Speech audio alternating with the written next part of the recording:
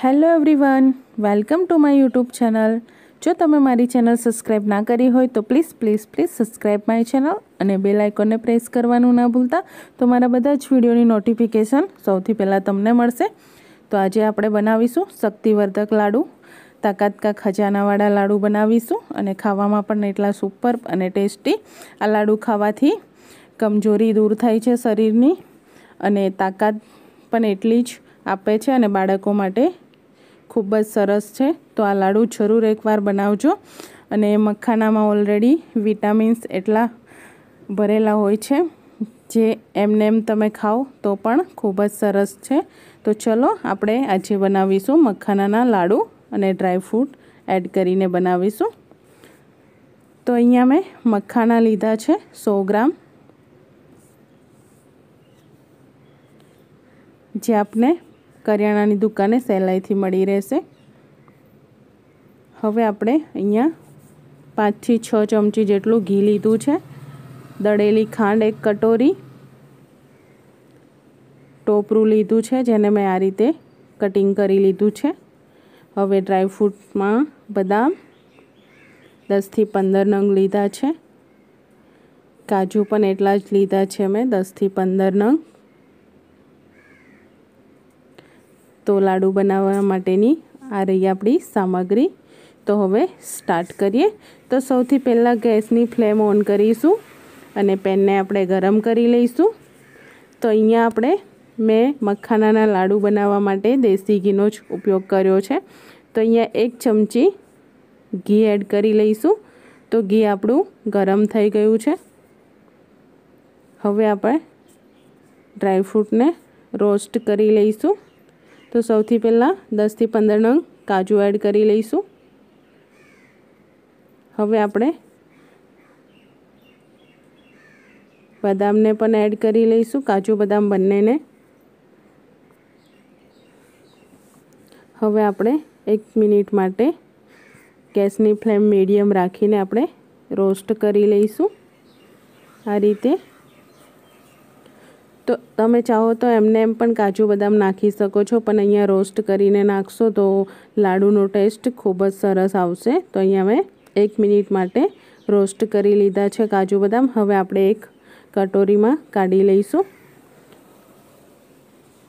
તો હવે એ જ પેનમાં આપણે મખાના પણ બેથી ત્રણ મિનિટ ગેસની ફ્લેમ ધીમી રાખીને આપણે રોસ્ટ કરી લઈશું. તો મખાનામાં રહેલું મોઇશ્ચરાઇઝ સારી રીતે ઉડી જાય એટલા માટે આપણે એને રોસ્ટ કરી લઈશું. તો મખાણા અને કાચું બદામ બધું રોસ્ટ કરીને આપણે ઠંડા કરી લઈશું. પછી જ એને આપણે દળી લઈશું મિક્સરમાં. તો અહીંયા એકથી બે મિનિટ સુધી આપણે ધીમી આંચ રાખીને આ રીતે આપણે મખાણાને રોસ્ટ કરી લઈશું. બળવા દેવાના નથી. તો રેડી છે આપણા મખાણા પણ. તો હવે એક વાસણમાં કાઢી લઈશું અને આપણે એને ઠંડા કરી લઈશું. તો મખાણા પણ રેડી છે. હવે એક મિક્સી જાર લઈશું. એમાં આપણે જે મોટા ટોપરા કટિંગ કરીને લીધા હતા, એને એડ કરી લઈશું સૌથી પહેલાં. હવે આપણે રોસ્ટ કરેલા કાજુ અને બદામ એડ કરી લઈશું. હવે આપણે આને દળવાના નથી, પણ મોટા પીસવાના છે, ભૂકો કરવાનો છે. તો આ રીતનો આપણે લાડુ બનાવવા માટે ભૂકો કરી લઈશું. તમે જોઈ શકો છો દરદરું પીસી લીધું છે. હવે આપણે મખાનાને પણ પાવડર બનાવી લઈશું. તો એના માટે મેં મોટી મિક્સી જાર લીધી છે. એમાં એડ કરી લઈશું.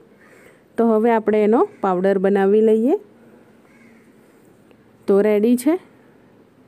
મખાણાનો લોટ બનીને તો હવે આપણે એક બાઉલમાં કાઢી લઈશું. હવે આપણે એક પેન ગરમ કરી લઈશું. એમાં લગભગ બે ચમચી જેટલું ઘી એડ કરીશું.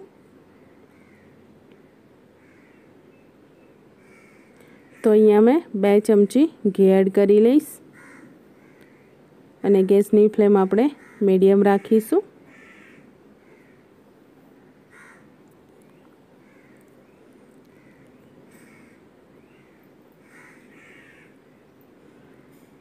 તો ઘી આપણું ગરમ થઈ ગયું છે. હવે આપણે મખાનાનો લોટ બનાવ્યો તો એને એડ કરી લઈશું અને લગભગ ત્રણથી ચાર મિનિટ આપણે ગેસની ફ્લેમ મીડિયમ રાખીને સારી રીતે આપણે લોટને શેકી લેવાનો છે.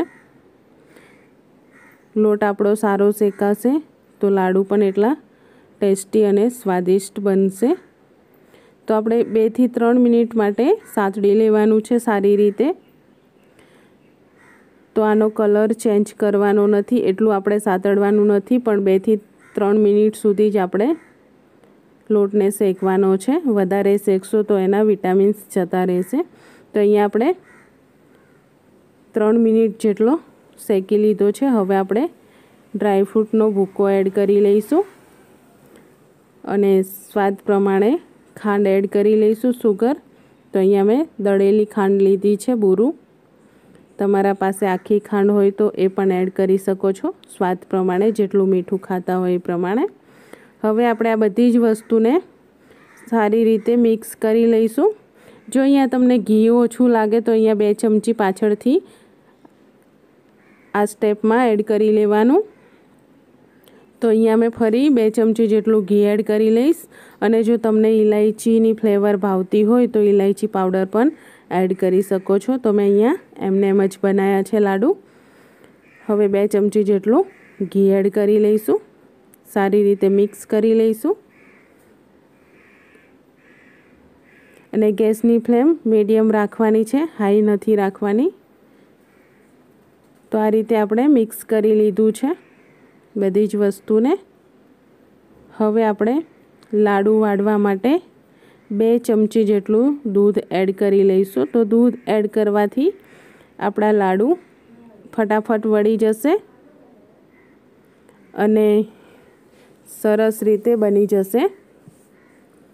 તો અહીંયા મેં બે ચમચી જેટલું દૂધ એડ કરી લઈશ. હવે આપણે ગેસની ફ્લેમ બંધ કરી લઈશું. અને દૂધને પણ આ સારી રીતે મિક્સ કરી લઈશું. તો મખાનાના લાડુ બનાવવા માટે રેડી થઈ ગયું છે. હવે આપણે એને ઠંડુ કરી લઈશું. તો ઠંડુ થઈ ગયું છે. હવે હાથમાં પ્રેસ કરીને આપણે લાડુ બનાવી લઈશું. આ રીતે તો છે ને એકદમ સિમ્પલ અને સરળ રીત. તો આ રેસીપી જરૂર એકવાર ટ્રાય કરજો અને ખાવામાં પણ એટલા ટેસ્ટી લાડુ બનશે અને શરીરના ફાયદા એટલા જ છે લાડુ ખાવાથી. તો આનાથી તાકાત પણ એટલી ભરપૂર આવશે અને કમજોરી શરીરમાં હોય એ પણ દૂર થઈ જશે. તો દોસ્તો, તમને મારી રેસીપી પસંદ આવી હોય તો મારા ચેનલને સબસ્ક્રાઈબ કરજો, મારા વિડીયોને લાઈક કરજો, શેર કરજો અને કમેન્ટ કરીને જરૂર બતાવજો કે લાડુ કેવા બન્યા છે. તો ફરી મળીશું નેક્સ્ટ વિડીયોમાં. એક નવી રેસીપી સાથે. ત્યાં સુધી બાય બાય અને વિડીયોને લાઈક કરવાનું ના ભૂલતા.